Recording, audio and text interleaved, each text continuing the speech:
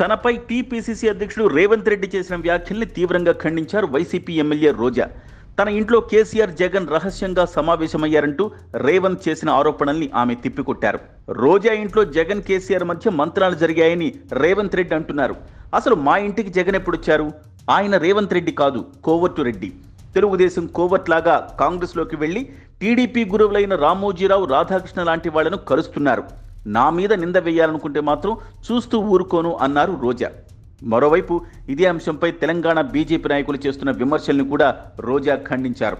తన నివాసానికి జగన్ రాలేదన్న రోజా గతంలో కేసీఆర్ తన ఇంటికి ఎందుకు వచ్చారనే విషయాన్ని స్పష్టం చేశారు.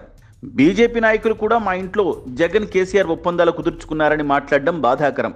తమిళనాడులో దేవుడి దర్శనానికి వెళుతూ మధ్యలో నా నియోజకవర్గం ఉండడంతో గౌరవార్థం కేసీఆర్ గారు మా ఇంటికి వచ్చారు అప్పుడు అక్కడ జగన్ లేరు.